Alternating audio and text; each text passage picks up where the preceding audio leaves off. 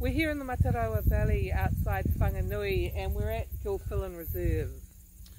And it was here on the 18th of April 1847 that the Gilfillan family were attacked by a group of Māori um, and Mrs Gilfillan and three of their children were killed.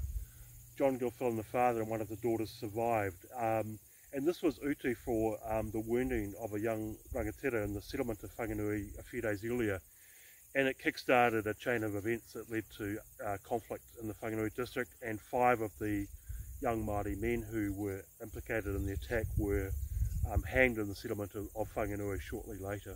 And it's a reminder of the sweeping forces of invasion, how they people got caught up inside of them.